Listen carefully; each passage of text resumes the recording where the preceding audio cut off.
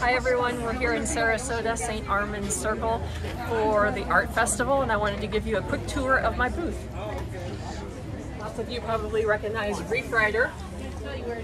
And then we've got some colorful, this uh, original painting of some colorful buoys and a couple nautical scenes. Original painting of St. Armand's Circle where we are today and some boat paintings. So if you're in the area, please come out and see us and don't forget the secret code, Frosty Flamingo.